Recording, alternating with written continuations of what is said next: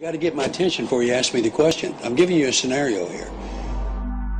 Here's the deal. You know, give me something to work with. Don't just shoot questions at me. I can't do it. Talk to me like you're personal. That's the way I like it. Ambitiously meet people and be hospitable.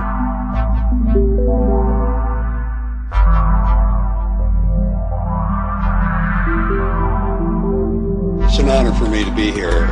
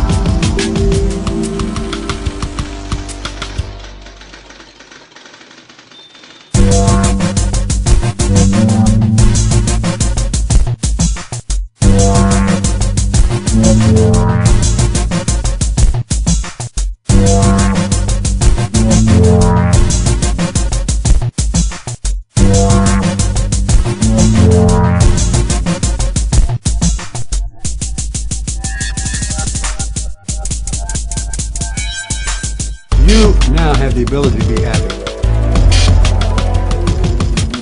The thoughts are so thick and full, they come with great details.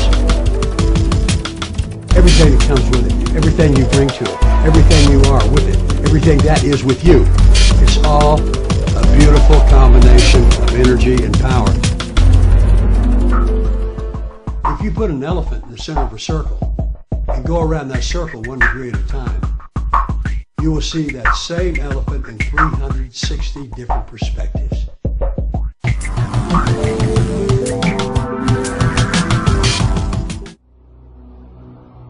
Well, I've always been interested in alternative solutions, whether it be in the medical field or in energy generation, because I've always questioned uh, the status quo and why we do things the way we are doing. Things never felt quite right. So I've always sought out a better way of doing things. And the free energy aspect is perfect because it can shape our world in a way where we can live in a free, sustainable society without worry of bills and without worry of carcinogens and all of that nonsense. And magnets have always interested me. And one day I was searching YouTube and different sites on the internet, and I came upon a magnetic motor from a man named John Searl. And I started looking more into free energy from that point because this man's story was so unbelievable. I had to start looking into every free energy device and to see the validity and compare them all to see what are the common factors of all of these free energy devices and if they're real or not. Changing the art of combusting to get energy and thus producing pollution to one that's natural, the absorbing of natural energy, compressing it, using it and then letting it go.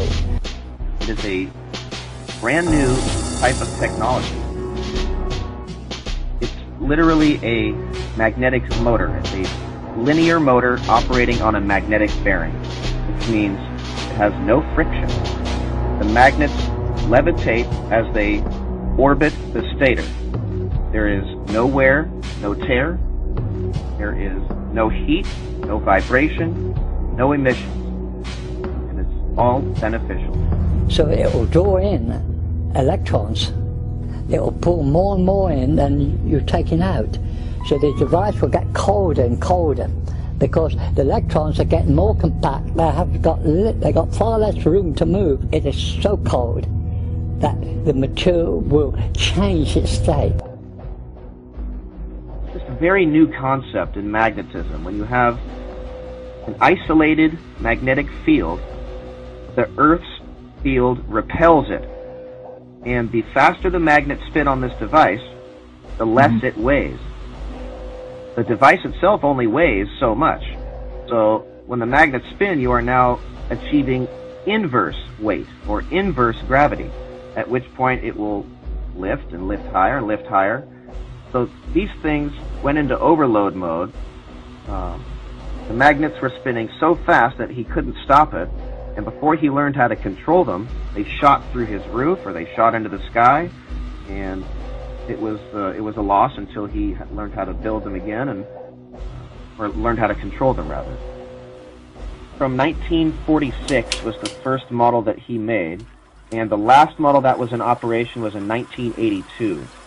Uh, John Searl was running his home in the UK for 31 years on his device and Midland's Electric Board uh, wasn't too happy and uh, sort of took it out of his home, ripped it out of his wall, and uh, took it from him. And that was the last working model.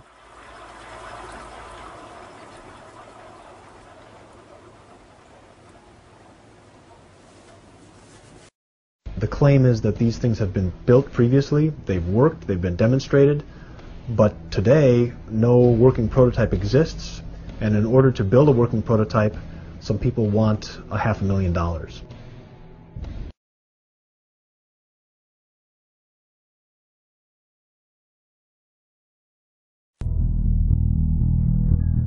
This is Amy, just one of an uncountable number of negatively charged electrons seeking a positive destination. She finds the positively charged neodymium core irresistible and enters the Searl converter device, becoming part of an enormous reservoir of electrons.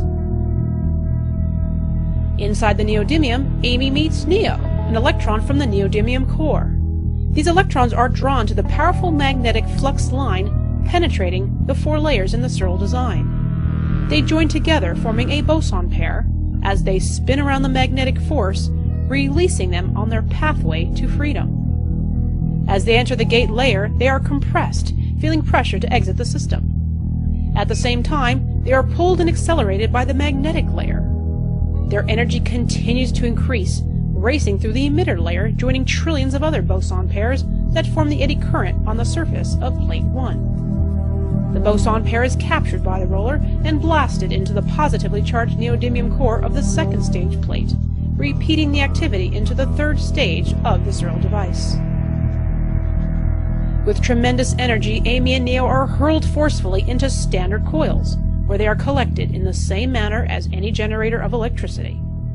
Nothing is created or destroyed. The circuit is complete.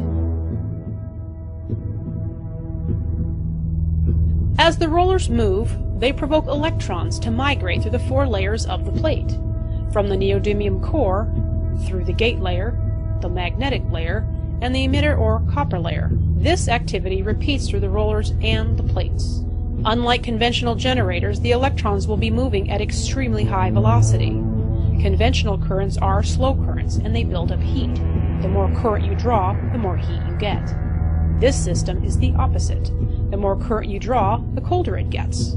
For this reason. At the quantum level, the electrons are riding the magnetic field, not hitting the lattice of the atoms. The electrons find their path between atoms undisturbed, so they accelerate to higher and higher speeds.